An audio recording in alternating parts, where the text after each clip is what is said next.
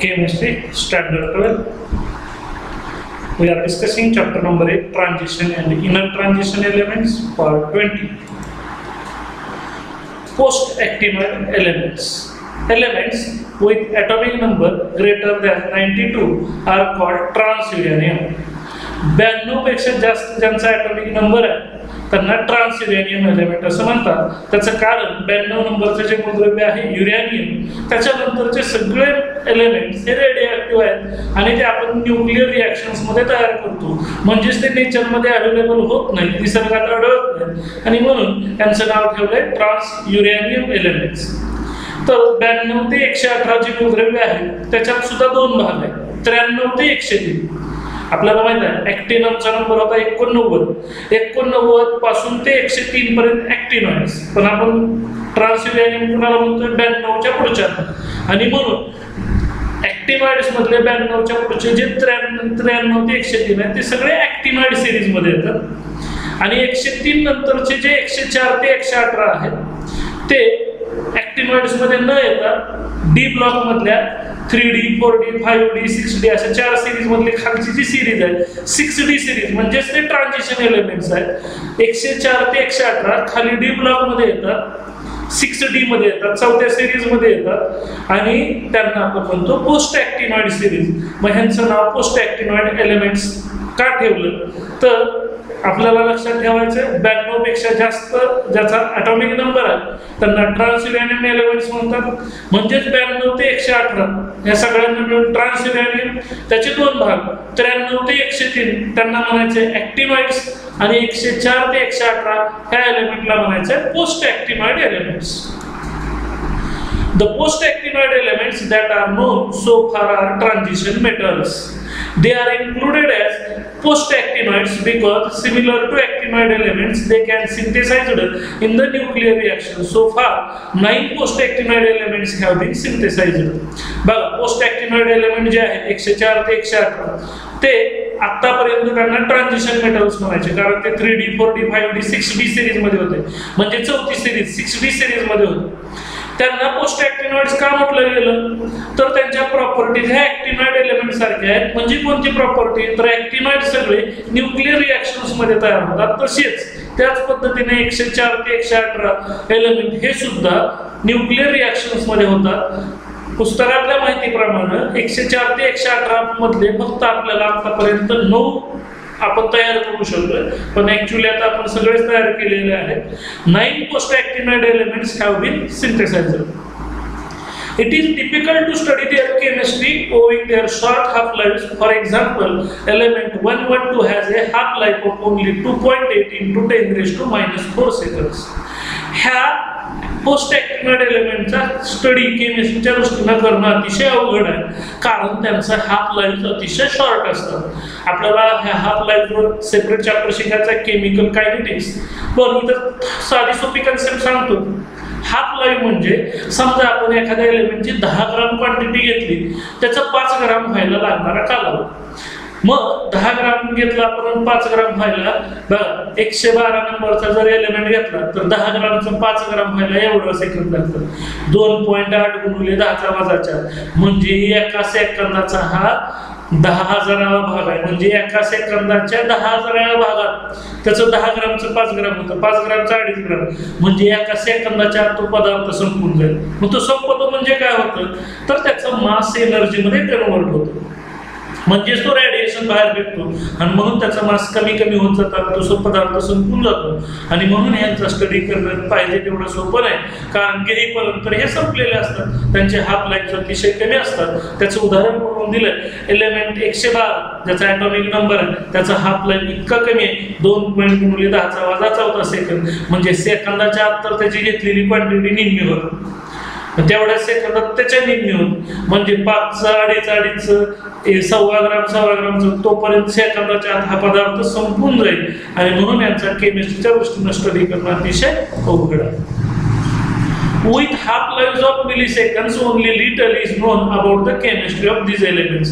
आणि म्हणूनच ह्यांच्या हाफ लाईफ सेकंदापेक्षा सुद्धा कमी आहेत मिली आहेत. आणि म्हणून ह्यांची केमिस्ट्री आपल्याला अतिशय थोडी माहिती आहे त्यांच्याबद्दल आपल्याला जास्त काही माहीत नाही. आणि तिची काय थोडी माहिती आहे ती इथं खाली दिली त्याच्यातली काय एलिमेंटची माहिती दिली रुदर फोर्डियम रुदरफोर्ड नावाच्या सायंटिस्टनं या एलिमेंटला नाव दिलं होतं. Rutherfordium forms a chloride R F C L four बघा रुदरफोर्डियम क्लोरीन बरोबर एक कंपाऊंड तयार करतं R F C L four जसं की similar zirconium and hafnium in the plus four oxidation state तर झिक्रोनियम जडा आणि हापनियम एच एफ हे जसं प्लस फोर ऑक्सिडेशन स्टेट दाखवतात. तसाच हा पोस्ट ऍक्टिव्हाइड एलिमेंट रुदरफोर्डियम हा सुद्धा प्लस फोर ऑक्सिडेशन स्टेट दाखवतो. कसं? बघूया.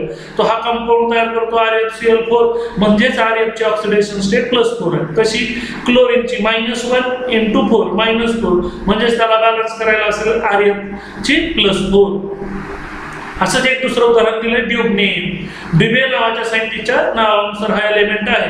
तो एक पोस्ट ऍक्टिव्हाइड एलिमेंट आहे. Dubnium resembles both group five transition metals niobium five and actinide protactinium five तर ट्रान्झिशन मेटल मधला जो निओबियम आहे ऑक्सिडेशन स्टेट पाच हे रोमनमध्ये ब्रॅकेटमध्ये रोमनमध्ये जे दाखवतात ती त्याचे ऑक्सिडेशन स्टेट असतात अँड ऍक्टिनॉइड प्रोटॅक्टॅनियम हा ऍक्टिनॉइड जो प्रोटॅक्टिनियम आहे तो सुद्धा प्लस फाईव्ह ऑक्सिडेशन स्टेट दाखवतो. आणि ह्या दोघासारखंच हा पोस्ट ऍक्टिनॉइड डुबेनियम तो सुद्धा ग्रुप फाईव्ह म्हणजेच तो प्लस फाईव्ह ऑक्सिडेशन स्टेट दाखवतो. जो की ट्रान्झिशन मेटलची गुणधर्म आहे जो की ऍक्टिनॉइडचा गुणधर्म आहे या पद्धतीनं फक्त आपल्याला त्यांच्याबद्दल थोडंच माहिती आहे. Note Traditionally, no element was named after a still living scientist. This principle was put to an end with the naming the element 106 as a Seaborgian. But तुम्ही आतापर्यंत अनेक मंगळवेची नाव ऐकली असेल आताच आपण बघितलं रुदरफोर्डियम रुदरफोर्ड नावाच्या सायंटिस्टच्या नावानं दिलेलं नाव एलिमेंटला अमेरिकियम अमेरिका प्रांतावरून नाव दिलेलं कॅलिफोर्नियम कॅलिफोर्निया प्रांतावरून दिलेलं नाव एक काळ अशी प्रथा होती अशी ट्रॅडिशन होती की सायंटिस्ट जर जिवंत असेल तर त्याचं नाव मूलद्रव्याला देत नव्हतं. परंतु हा नियम बाजूला ठेवला गेला कुणासाठी? ज्यावेळेस एकशे सहा नंबरचं मूलद्रव्य शोधलं गेलं त्यावेळेस एक सायंटिस्ट जिवंत असतानाच त्याचं नाव त्या मूलद्रव्याला दिलं गेलं. तो मूलद्रव्य म्हणजे सिबोर्गियम आणि त्या सायंटिस्टचं नाव म्हणजे सिबोर. म्हणजे तुमचं कार्य महान असेल तर तुमच्यासाठी नियम सुद्धा डावलले जातात. त्या सिबोरचं उदाहरण होतं. आणि जिवंत असतानाच त्याचं नाव एका एलिमेंटला दिलं गेलं. आज त्या एलिमेंटचं नाव आहे seaborgium Last point of this chapter, electronic configuration of actinoids and their ionic radii in plus 3 oxidation state. आपण ऍक्टिनॉइडच्या इलेक्ट्रॉनिक कॉन्फिगरेशन शिकणार आहोत आणि त्यांच्या ॲटॉमिक रेडिय आणि आयोनिक रेडिएमध्ये काय बदल होतात एक थोडक्यात बघणार ऍक्टिनम तीन एकोणनव्वदपासून जी सिरीज चालू होती ऍक्टिनॉइडची ती एकशे तीन पर्यंत. याला लॉरेन्शियम पर्यंत चालू राहतो. एकोणनव्वद हा ऍक्टिनम डी ब्लॉक एलिमेंट आहे. पुढचे चौदा एफ ब्लॉक एलिमेंट आहे. पण ऍक्टिनमचा स्टडी यांच्या बरोबरच केला जातो. म्हणजे हे टोटल पंधरा एलिमेंट आहे. पण हा डी ब्लॉक एलिमेंट आहेत खालचे एफ ब्लॉक एलिमेंट आहेत मग ऍक्टिनमच्या सारख्याच ह्यांच्या प्रॉपर्टीज असतात म्हणून त्यांना ऍक्टिनॉइड्स म्हणतात. आणि म्हणून यांच्या बरोबरच ऍक्टिनमचा स्टडी केला जातो. यांची नावं सिम्बॉल्स वरून नावं लक्षात ठेवू शकतो. सिम्बॉल्स कसे लक्षात ठेवायचे ते अकरावीत तुम्हाला मराठी वाक्य सांगितलं होतं. एसी आका थोडा पाय उचल नऊपर्यंत पुण्याला आमच्या सीमाच्या बेकरीत कॉफी केक द्यायचा. इस फॅमिली में इस फॅमिली में दो नोकर लोफर है. तुम्ही तुमचं वाक्य तयार करू शकता. नंबर आठवा AC means actinium T H means thorium P A means protactinium U means uranium N P means neptunium P U means plutonium AM means americium, CM means curium, BK means berkelium, CF means californium, ES means einsteinium, FM means fermium, MD means mendelium, NO means nobelium, LR means lawrencium, uh, Nobel scientist now, Mendel. Mendeleev सायंटिस्टचं नाव Fermi सायंटिस्टचं नाव Einstein सायंटिस्टचं नाव California एका प्रांताचं नाव. अशा पद्धतीनं पुढच्या सगळ्या एलिमेंटला एकतर प्रांताचं किंवा सायंटिस्टचं नाव दिलं गेलं हे सगळे ॲक्टिनॉइडचे कॉन्फिगरेशन कसे लक्षात ठेवायचे? तर ह्यांच्यामधला इनर्ट एलिमेंट शहाऐंशीवाला आहे रेडॉन. म्हणून प्रत्येकामध्ये रेडॉन आणि पुढचे इलेक्ट्रॉन तिघामध्ये डिस्ट्रीब्यूट करायचे. Five F six D seven S म्हणजे ह्यांचा लास्ट इलेक्ट्रॉन फाईव्ह एफमध्ये जातो म्हणून ही फाईव्ह एफ सिरीज आहे. मग फाईव्ह एफ सिक्स डी आणि सेवन एस हे कॉन्फिगरेशन कसं लक्षात ठेवायचे? त्याची टॅक्ट देतात तर पहिल्या पाच जणाच्या पहिल्या पाच जणाच्या हे इथं अब्बाव प्रिन्सिपल पाळलेला नाही. नियमानुसार फाईव्ह एफ ऑर्बिटल अगोदर भरलं जातं नंतर सिक्स डी पण ह्या पाच जणाच्या बाबतीत अब्बाव प्रिन्सिपल पाळला गेला नाही. ह्यांच्या अगोदर सहा डी मध्ये इलेक्ट्रॉन येतो आणि नंतर मग फाईव्ह एफमध्ये इलेक्ट्रॉन जातो. मग ह्या पाच जणाच्या बाबतीत अब्बाव प्रिन्सिपल व्हायलेट झालं. आणि ह्याच्या बाबतीत थोरियमच्या बाबतीत तर सिक्स डी मध्ये दोन इलेक्ट्रॉन आले. म्हणून हे पहिले पाच मेंबर लक्षात ठेवायचे की ज्यांच्यात सिक्स डी मध्ये एक एक इलेक्ट्रॉन आहे. अपवाद दोन नंबरचा थोरियम त्याच्या सिक्स डी मध्ये दोन इलेक्ट्रॉन आहेत. नंतर एक अपवाद आहे क्युरियम सीएम बरोबर सेंटरला शहाण्णव नंबरचा त्याच्या सिक्स डी मध्ये वन आहे. आणि लास्टचा लॉरेन्शियम त्याच्या सिक्स डी मध्ये वन आहे नाहीतर बाकीच्या सगळ्यांच्या सिक्स डी मध्ये झिरो आहे. म्हणून सिक्स डी मध्ये कुणाच्या किती इलेक्ट्रॉन आहेत त्या अगोदर लक्षात ठेवायचं. पहिले पाच मेंबर सिक्स डी मध्ये वन दोन नंबरचा थोरियम त्याच्याकडे मात्र सिक्स डी मध्ये दोन. सीएम क्युरियम म्हणजे चीफ मिनिस्टरच्या ह्याच्याकडे सिक्स डी मध्ये वन आणि लास्ट लॉरेन्शियम लॉरेन्शियमच्या मध्ये सिक्स डी मध्ये वन सेवन एस तर अगोदरच भरलं जाणार. म्हणून सेवन एसमध्ये दोन टाकायचे. बघूया आता कॉन्फिगरेशन कसं लिहिता येईल. एकोणनव्वद. त्याच्यातनं शहाऐंशी वजा करायचे. रेड ऑनचं म्हणजे रेड ऑन लिहायचं शहाऐंशीच्या बदल राहिले तीन. तीन पैकी दोन सेवन एसमध्ये टाकायचे. सिक्स डी मध्ये वन म्हणजे तीनला तीन संपले. म्हणून फाईव्ह एफमध्ये झिरो नव्वद. नव्वद मधनं शहाऐंशी गेले राहिले चार. सेवन एसमध्ये दोन टाकले. सिक्स डी मध्ये दोन टाकायचे. थोरियम एक्क्याण्णव. एक्क्याण्णव मधनं शहाऐंशी गेले रेडॉनचे राहिले पाच. सेवन एसमध्ये दोन टाकायचे सिक्स डी मध्ये एक आणि फाईव्ह एफमध्ये दोन. असं अगोदर सेवन एस भरायचं नंतर सिक्स डीचं लक्षात ठेवायचं सिक्स डी भरून घ्यायचं आणि राहिलेले इलेक्ट्रॉन फाईव्ह एफमध्ये टाकायचं. बघूया. पंच्याण्णवमध्ये कसं टाकायचं? पंच्याण्णवमधनं शहाऐंशी गेले राहिले नऊ. नऊमधले सेवन एसमध्ये दोन टाकले. ह्याच्या मात्र सिक्स डीमध्ये झिरो. म्हणून त्याच्या फाईव्ह एफमध्ये सेवन टाकायचे. अशा पद्धतीनं तुम्ही प्रत्येकाचं कॉन्फिगरेशन लक्षात ठेवू शकता. फक्त लक्षात ठेवा five F six D seven S. तर दिलेल्या ॲटॉमिक नंबरमधनं शहाऐंशी वजा करायचं रेड ऑनसाठीचं नंतर राहिलेले दोन इलेक्ट्रॉन सेवन एसमध्ये टाकायचे. पाच जणाच्या बाबतीत मधला एक सहावा आणि खालचा सातवा त्याच्या सिक्स डी मध्ये इलेक्ट्रॉन असतात आपोआप थोरियमचा आहे त्याच्या सिक्स डी कडे दोन असतात तेवढं लक्षात ठेवायचं आणि तेवढं भरून घ्यायचं मग राहिलेले इलेक्ट्रॉन फाईव्ह एममध्ये टाकायचे.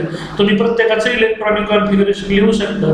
हे इलेक्ट्रॉनिक कॉन्फिगरेशन ग्राउंड स्टेट मधलं आहे. म्हणजेच कुठलीही एनर्जी नसतानाच आहे. एनर्जी जर आली तर हेच कॉन्फिगरेशन बदलतं. म्हणून ज्यावेळेस हेवियर एलिमेंट येतात त्यावेळेस अनेक नियम पाळले जात नाही. इथंच उदाहरण आहे की फाईव्ह एफच्या अगोदर सिक्स डी भरलं जातं. म्हणजेच अभाव प्रिन्सिपल पाळला जात नाही ह्या पाच जणांच्या बाबतीत.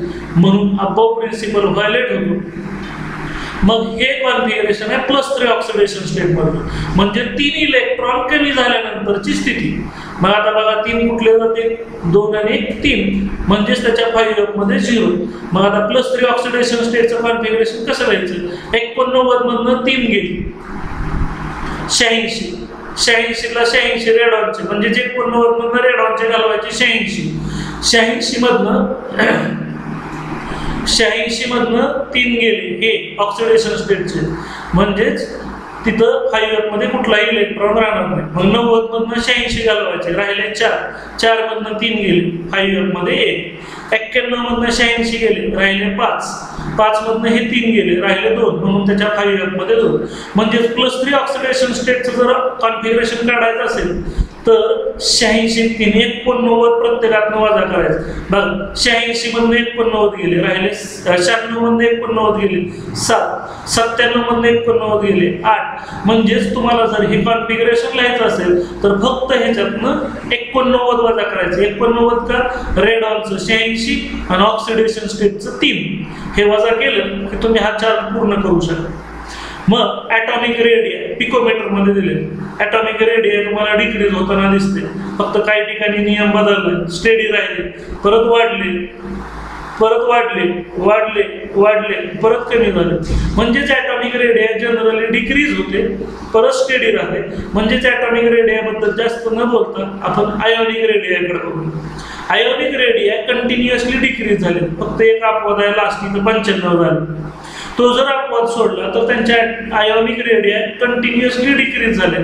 त्यालाच आपण म्हणतो ॲक्टिनॉइड कॉन्ट्रॅक्शन आणि हे जर झालं नसतं असं तर आपण ह्या एलिमेंटला वेगळंच करू शकलो नसतो. इथं थोडीशी स्टडी राहिली पण कंटिन्युअसली डिक्रीज झाली. आणि आयोनिक रेडिया कंटिन्युअसली डिक्रीज झाल्यामुळे आपण त्यांना वेगळं करू शकलो. त्यालाच ॲक्टिनॉइड कॉन्ट्रॅक्शन असं म्हणतात. इथं आपला हा चॅप्टर संपलेला आहे. थँक्यू